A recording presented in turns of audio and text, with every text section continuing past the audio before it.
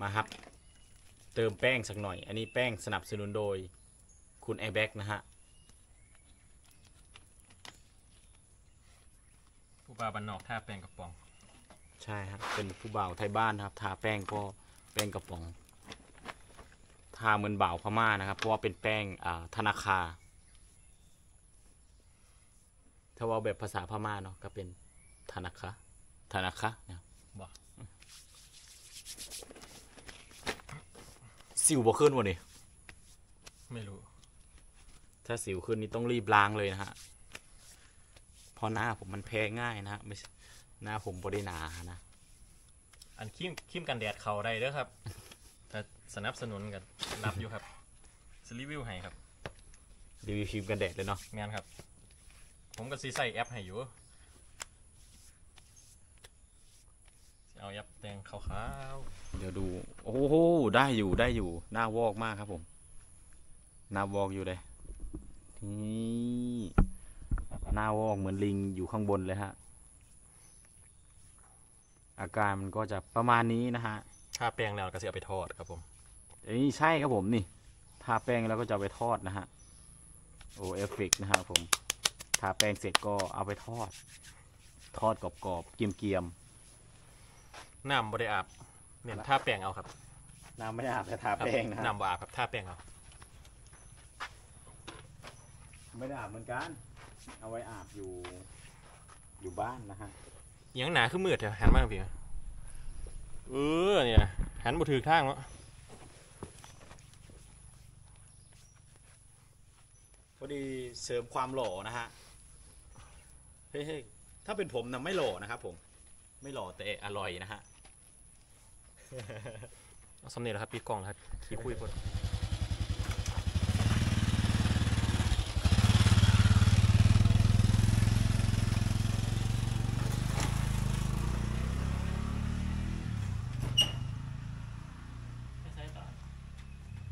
เข้าเปิดน้ำตกคณะผมวันนะ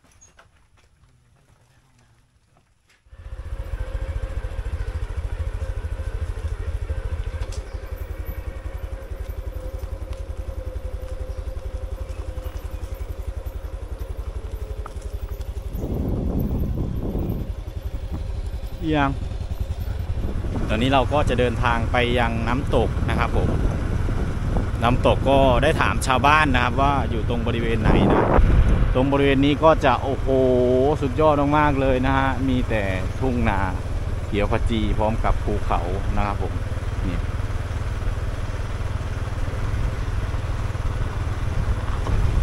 โอ้ข้าวก็เริ่มจะได้เกี่ยวแล้วนะครับผมนี่ข้าวเป็นสีเหลืองทองแล้วนะ นี่นี่นี่นี่ข้าวเป็นสีเหลืองทอง เห็นหัวชาวบ้านอยู่นะผมแวบแวบแวมแวมน่าจะเกี่ยวข้าวหรือเปล่านะแถวบ้านผมก็น่าจะเกี่ยวอีกประมาณอาทิตย์หน้านะครับผมอาทิตย์หน้าก็น่าจะได้เกี่ยวแล้ว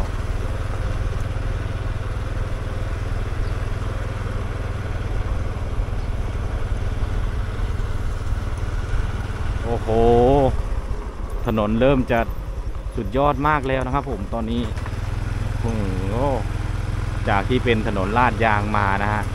ก็เป็นถนนแบบขรุขระเลยนะฮะตอนนี้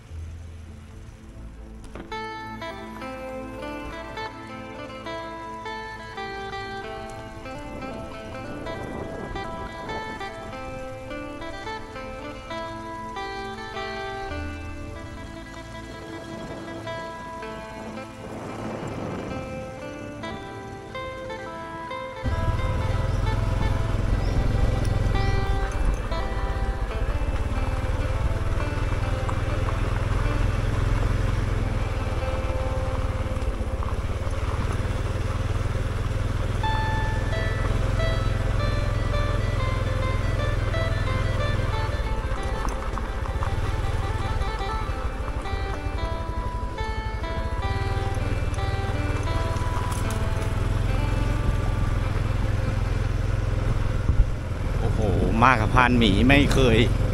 สบายนะผม ลุยป่าฝ่าดงมาเรื่อยๆนะเนี่ยครับผม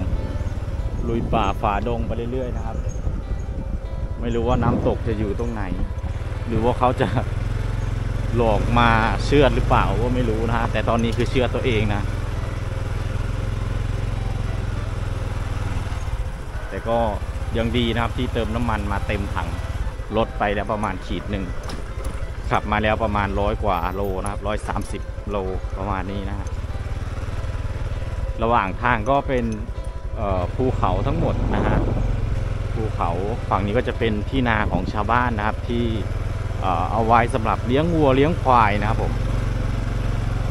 วันนี้ก็โนแพนนะครับผม ไปเรื่อยๆนะฮะเดี๋ยวถ้าเจอชาวบ้านผมก็จะจอดถามอยู่ เพราะว่าอยากเจอน้ำตกนะครับผม ตอนนี้น้ำตกก็ยังไม่รู้อยู่ที่ไหนน้องน้ำตกไปทางไหนก็ยังไม่รู้นะฮะเดี๋ยวต้องถามชาวบ้านก่อน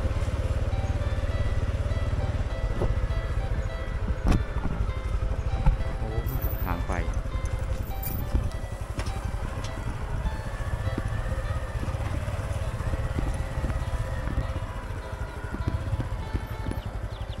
พ่ออันน้ำตกไปทางเรือ ทางกันนะบ่ยังไปไก่ใช่บ่ไก่บ่ประมาณจากโลอะสามกิโลอ๋อ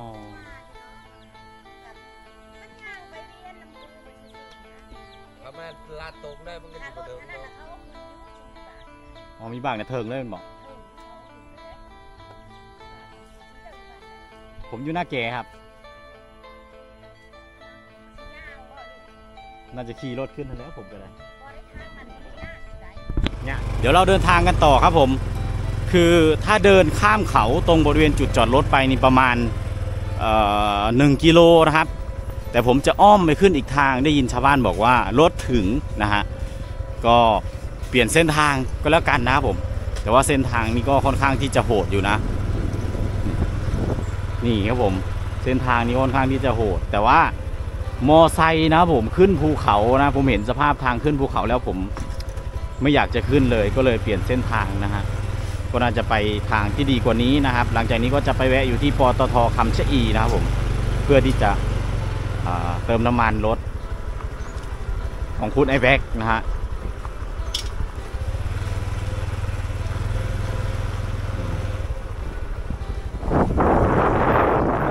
ทางโหดมากครับผม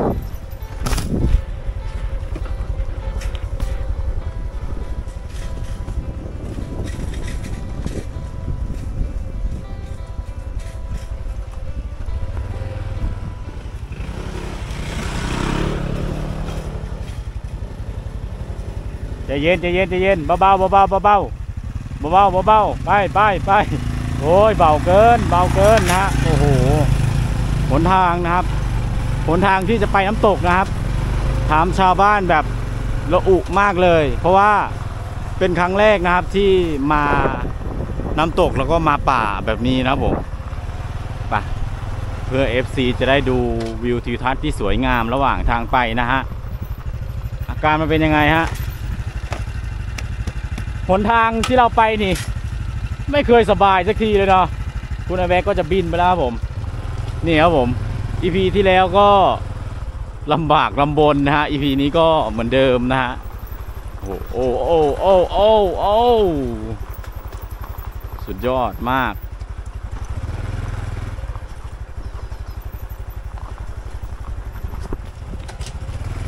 โอ้ทางเข้ามาโคตรโหดครับ หดจัด เอ้ยเอ้ยเอ้ยโอ้โอ้โอ้โอ้โอ้โอ้โอ้โอ้โอ้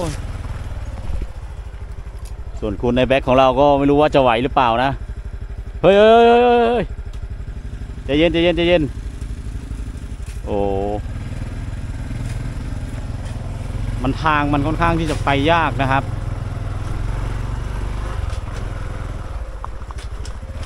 เนี่ยมันมันต้องเป็นดินแบบนี้ไปเรื่อย ๆ ตลอดทางเลยนะ ถ้ามือไม่แข็งนี่โอ้โหไม่อยากจะคิดสภาพนะครับผม แต่ก็ต้องรอลุ้นกันนะครับว่า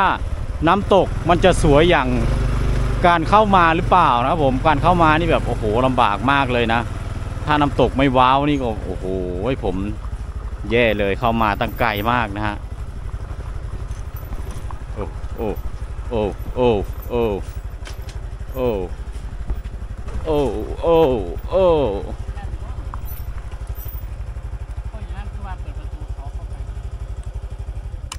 ตอนนี้คือหลงอยู่ในกลางป่านะครับผม นี่นนั่นก็คุณแอร์แบ็กนะฮะ ซึ่งไม่รู้กำลังจะไปไหนนะฮะ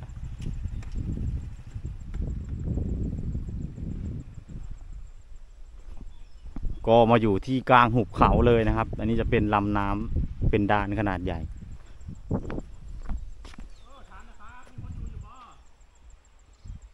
ขึ้นไปเลยขึ้นไปเลย เดินขึ้นไปถามดูโอ้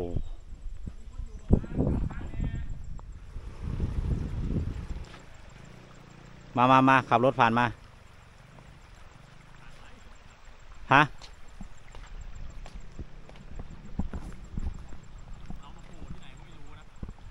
ผล่อยู่กลางป่ากลางดง ไปยากมากนะฮะ ตอนนี้ กว่าจะเข้ามาถึงนะครับ ประมาณ 20กิโลนะครับ 20กิโลก็เป็นเอ่อ20กิโลภูเขานะครับ ไป โอ้โหลำบากลำบน ไม่รู้จะมาทำไม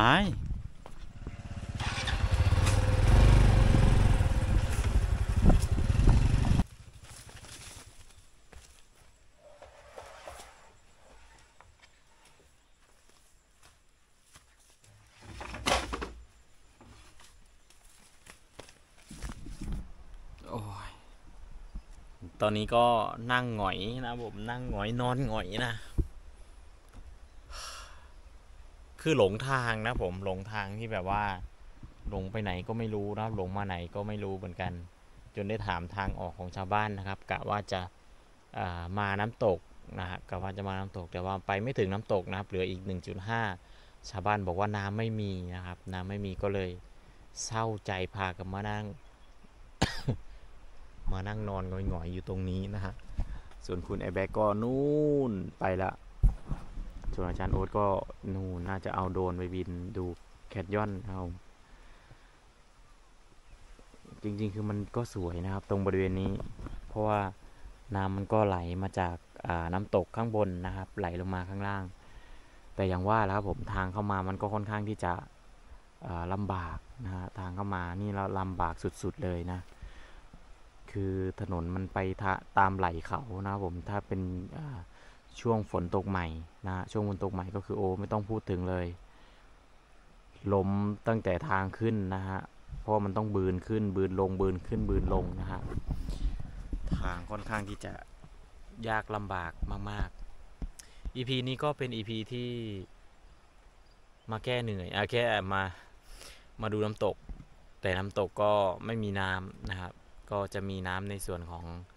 อน้ำตกข้างล่างนะฮะเป็นน้ำแก่งห้วยธรรมดา แต่ก็ไม่เป็นไรนะผมก็ได้น้ำตกใน EP ก่อนๆแล้วก็ถือว่าคุ้มอยู่นะฮะก็ประสบความสำเร็จอยู่นะครับ แต่ถ้าประสบความสำเร็จ ขึ้นไปนี้กว่านี้อีกก็คือมันต้องได้น้ำตกข้างบนนะครับผมเป็นน้ำตกตาดโตน หรือน้ำตกอะไรสักอย่างนี่แหละครับผม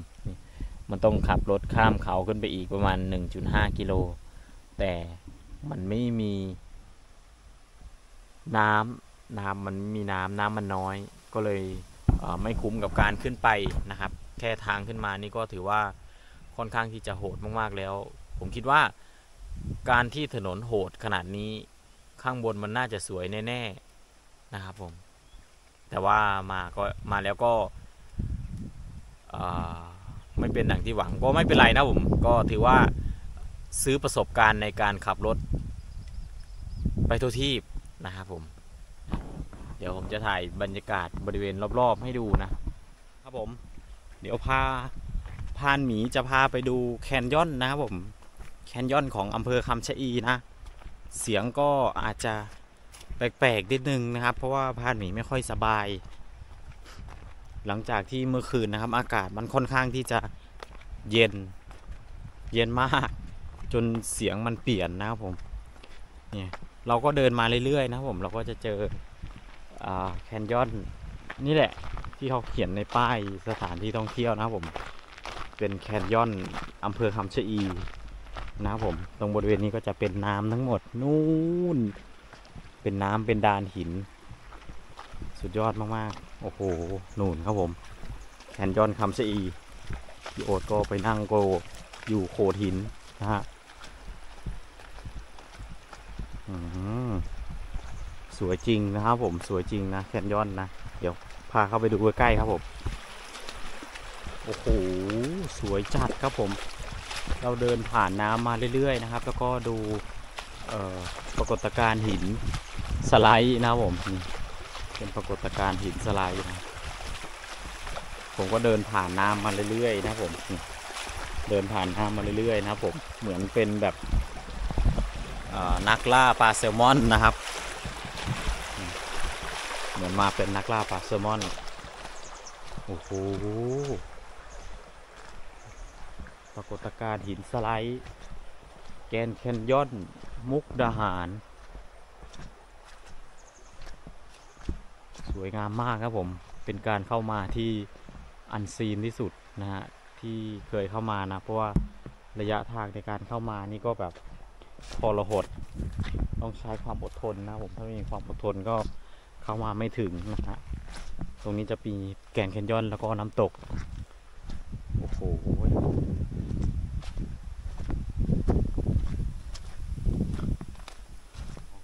ไป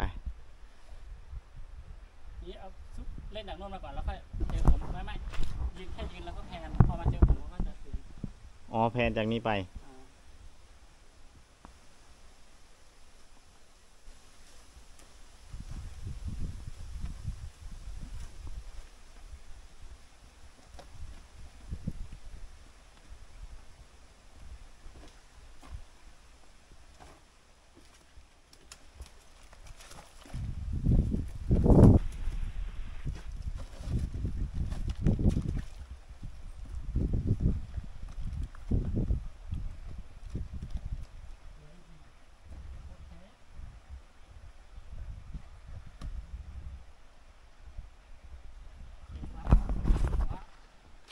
เสียน้ำเสียลม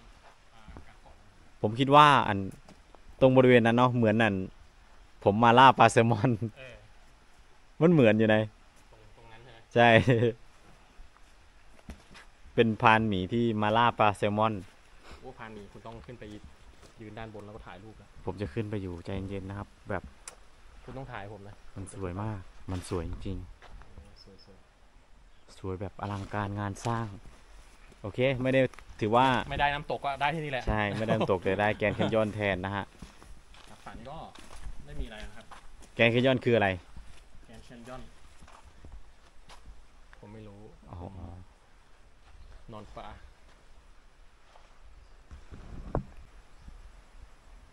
เอา เอามือกดตรงหญ้านะข้างหน้านะกดแล้วก็เอาตีนชี้ขึ้นฟ้า เว้าไป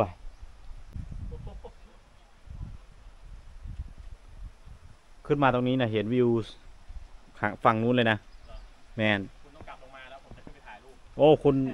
คุณไม่กลัวความสูงนะฮะรู้ว่าเหมือนมีคนมาเล่นของเฮือนน้อยเลยตรงนี้นี่กิ้งลงมากิ้งลงมา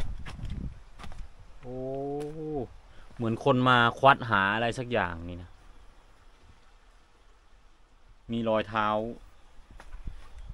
มีรอยเท้าเหมือนรอยเท้าเด็กน้อย อืม มนุษย์ถ้ำหรือเปล่านะฮะ ที่อยู่ในโพรงหินอันนี้โอ้ยเป็นดินเหนียวนะ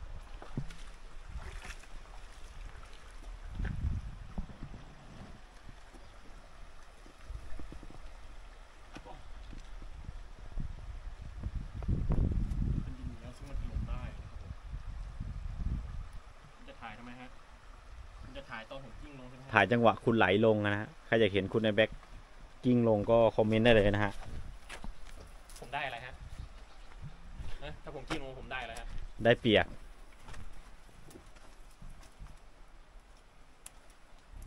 คุณจะม้วนขึ้นมาทำไมนี่จะม้วนขึ้นมาเลยนี่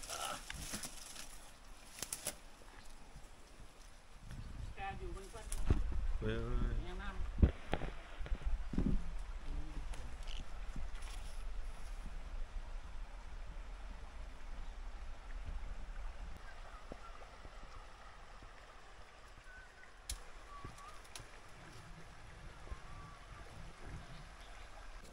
ลงมาที่ถ่ายคลิป ไปไปไป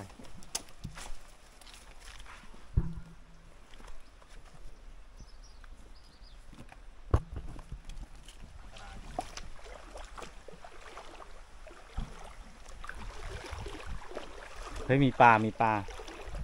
ในน้ำมีปลา ใครเห็นทางนี้น้ำกดสีครับผมผมจะมาล่าปลาแซลมอนนะนี่ แล้วเถะครับ น้ำมันสีเขียวดี แล้วเราคล้ายเหยียบก้อนนี้ โอ้โหสุดยอดมากครับผม อันซีนมากๆเลยนะ อยู่ที่อำเภอคำชะอีจังหวัดมุกดาหารนะฮะ นี่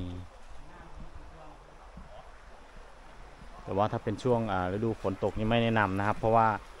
กลัวแบบดินมันสไลด์ลงมานะ เนี่ยเนี่ยวเกิดจากดินสไลด์ลงมานะครับ เพราะว่าน้ำมันกัดเซาะแล้วก็ฝนโดนฝนด้วย โอ้โหสวยมากครับผมนี่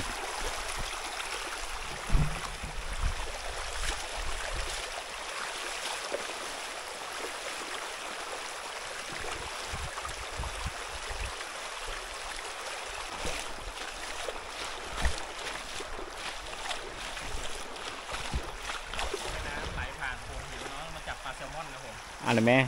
เดี๋ยวจะมาชวนคุณไอแบ็กจับปลาแซลมอนนะฮะ จะไม่มีน่าจะมีแต่ปลาเข็งนะผมเฮ้ยแต่ว่าบรรยากาศมันเหมือนบรรยากาศอยู่ต่างประเทศเลยเนาะอ่าปลาแซลมอนน่าจะมาไข่อยู่บนโขดหินข้างบนนะบรรยากาศมันใช่เลยนะฮะสำหรับ EP นี้ก็ถือว่าคุ้มค่านะครับกับการเดินทางเข้ามาที่ค่อนข้างที่จะไกลไกลไกลไกลไกลแบบไกลแบบหลายไกลเลยเนาะโคตรไกลอะ โคตรไกลทางลำบากด้วยนะ ใช่ฮะรถสำหรับใครที่อยากจะมาตามเนาะรถยนต์ไม่ต้องเอามานะผมมันไม่ถึงนะครับแต่ว่ามอไซค์นี่ถึงเนาะมอไซค์ถึงอยู่ มอไซค์นี่ถึงนะครับเหมาะแก่การมาแบบแคมปิ้งนะครับผมโรดทริปแคมปิ้งเลย ถ้าผมมาครั้งครั้งหน้าก็น่าจะมานอนนะครับผมมานอนแคมปิ้งแต่ถ้าให้มาไปกลับโอ้โอไม่ไหวนะฮะมันทางมันลำบากมากนี่แต่ว่า ถือว่าสวยสุดยอดนะฮะคุ้มค่ากับการเดินทางสำหรับ EP นี้ก็มีประมาณนี้นะครับผม ก็ขอบคุณทุกท่านที่เข้ามาติดตามการรับชมจนจบคลิปนะผม อย่าลืมฝากกดติดตามเพื่อเป็นกำลังใจผมนะครับคลิปต่อไปสำหรับ EP นี้ก็สวัสดีครับ เจอกัน EP หน้าครับผมไป